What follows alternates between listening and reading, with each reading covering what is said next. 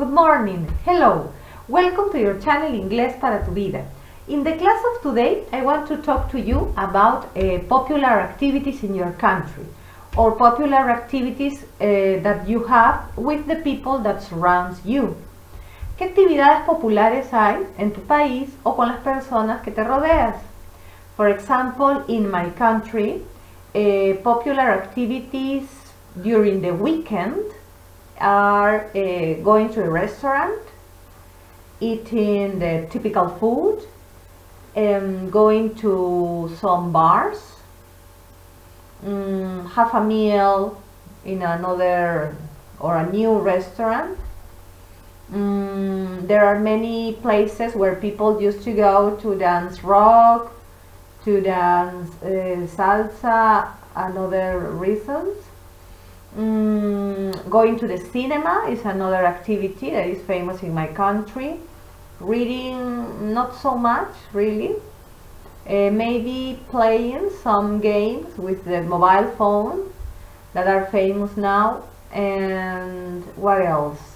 Going out with friends. Yes, some people go out with friends. They go to the cafe.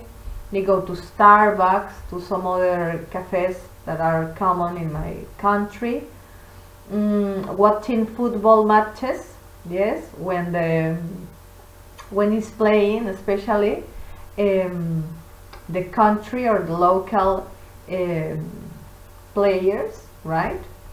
Another activity on Sundays in my country is visiting relatives. Most of the people in my country go very early on Sundays to visit relatives Te estaba dando algunos ejemplos de lo que hacen las personas en mi país durante los fines de semana. Te explicaba algunas, algunas los domingos, algunas en especial y te invitaba a que me digas lo mismo acerca de tu país o tu localidad. Y aquí hay algunos ejemplos de popular activities in English, right? For example, uh, reading newspaper, reading a newspaper or reading a magazine leer eh, un periódico, una revista, bueno, eso es común en varios países. Going for a walk, going for a walk, puedes repetir conmigo, salir a caminar. Listening to the radio, algunas personas sí, escuchan la radio, listening to the radio. Eh, going to a restaurant, going to a restaurant, puedes repetir, ir a un restaurante.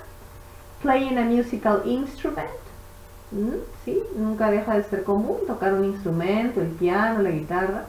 Playing video games, playing video games, jugar videojuegos. Going for a run, salir a correr, going for a run. Going to the gym, muy popular en mi país también, going to the gym, ir al gimnasio. Renting a video, renting a video, no es muy común en mi país, pero puede ser que en otros sí. Going to the cinema, going to the cinema, ir al cine. Vamos a repetirlas todas. Let's repeat.